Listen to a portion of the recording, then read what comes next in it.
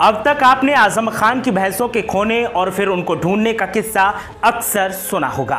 लेकिन अब एक ऐसे विधायक जी भी सामने आए हैं, जिन्होंने जेल में बंद भैंसों की जमानत करवाई, बल्कि उनको रिहा करवाया, जो कई दिनों से कैद की सजा भुगत रही थी। नगर निगम अधिकारियों ने भैंसों को पकड़कर कैद कर लिया था। भैंस जहाँ जेल की सजा भुगत रही थी तो एक तरफ़ भैंसें इंतज़ार में थी कि कोई उन्हें छुड़वाने के लिए आए, लेकिन ऐसा होता नहीं दिखाई दे रहा था। लेकिन जब तीन दिन इंतज़ार में गुजर गए तो फिर विधायक विधायक जी को सामने आना पड़ा और फिर जो हुआ, वो खबर में आपको एक एक कर पता चलता जाएगा। मामला मोहब्बत की नगरी आगरा का है। आगरा में नगर निगम की टीम ने यमुना में नहा रही भैंसों को पकड़कर काजी हाउस में बंद कर दिया। लेकिन हैरान करने वाली बात तो यह है कि इसके बाद तीन दिन तक कोई भी भैंसों को छुड़वाने के लिए नहीं आया।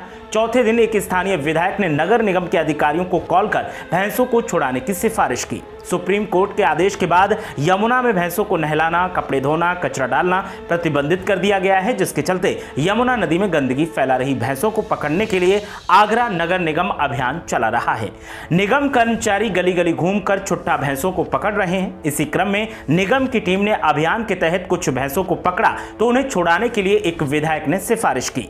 विधायक ने पकड़ी गई भैंसों को छुड़ाने के लिए निगम अधिकारियों को फ़ोन किया और जुर्माना कम करने और अंतिम मौका देने की बात कही। वहीं विधायक की सिफारिश के बाद जुर्माने की रकम को बीस हज़ार से घटाकर पाँच हज़ार कर दिया गया, जिसके चलते पाँच हज़ार रुपए का जुर्माना भरने के बाद पशुपालक अपनी सात भैंसों को ले गए। लेकिन कुल पकड़ी गई पैंतीस भैंसों में से अभी भी सात को छोड़ा गया है। अट्ठाईस भैंसे अभी भी नगर निगम के काजी हाउस में बंद है। विधायक के कहने पर पशुपालकों को अंतिम मौका दिया गया है। सात जून को सुप्रीम कोर्ट अनुश्रवण समिति की बैठक में मंडल आयुक्त अमित गुप्ता ने यमुना नदी को गंदा करने वालों से जुर्माना वसूलने के आदेश दिए थे।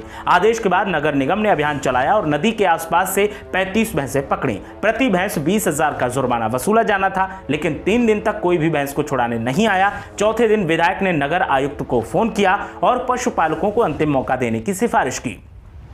अब कुछ वैसे तो रिहा हो गई हैं, लेकिन कुछ अभी भी रिहाई का इंतज़ार कर रही हैं। इधर ये मामला सुर्खियों में छाया हुआ है।